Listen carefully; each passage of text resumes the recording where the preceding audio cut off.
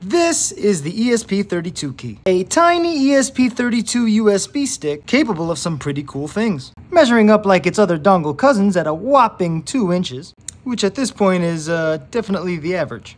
Putting size aside, this is a very affordable and capable development board. Powered by the ESP32S2, has a single boot and reset button, one tiny status LED, and is one of the neatest pen testing tools that you can add to your arsenal.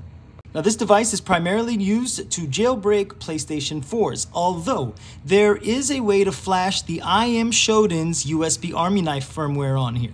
So not only can you jailbreak a PlayStation 4 with this, you can turn it into your own bad USB on the go.